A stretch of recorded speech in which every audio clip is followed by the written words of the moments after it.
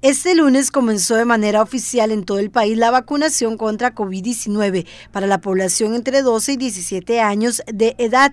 En el caso de Pérez Celedón, este proceso inició hace una semana. Sí, en realidad nosotros aquí en el área de salud de Pérez Celedón iniciamos con el grupo de 12 años a menores de 18 años con y sin factores de riesgo desde la semana pasada.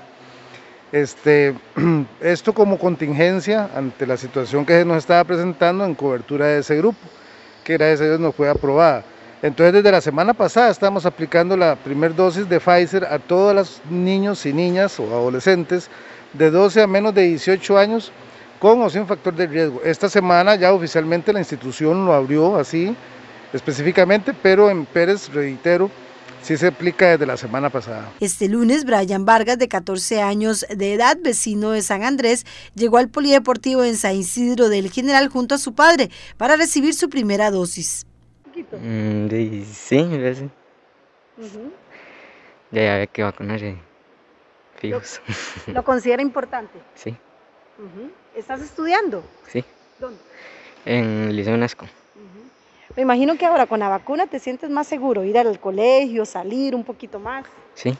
Mientras que Olger Ureña llevó a su hija para que recibiera la primera dosis y él aprovechó para aplicarse la segunda. A mi hija, primera, primera dosis. Ajá. ¿Y vino usted a ponerse la segunda dosis? La segunda, correcto. Bueno, ¿por qué considera muy importante este proceso, De ahí, por salud y cuidar a los demás también.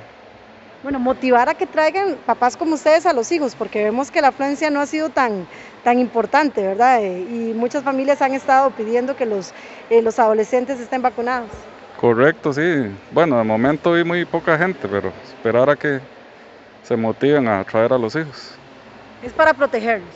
Para protegernos mutuamente, correcto. La asistencia no ha sido alta, por ello las autoridades de salud hacen un llamado a la población para que acudan a vacunarse. Sí, en realidad eh, nosotros como estrategia en Pérez León se han utilizado este, en un momento dado algunas aperturas ocasionales a este grupo de población que generó que en un momento dado se aplicara mucha vacuna.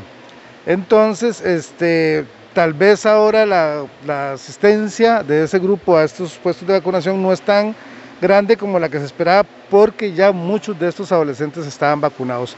Sin embargo, reiteramos la invitación a todos aquellos que no tengan su vacuna, vengan, a que tenemos diferentes puestos en toda el área de Pérez Celedón, principalmente los de San Isidro aquí en el Polideportivo, para que puedan aplicar su primer dosis. La vacunación contra COVID-19 se realiza a toda la población mayor de 12 años.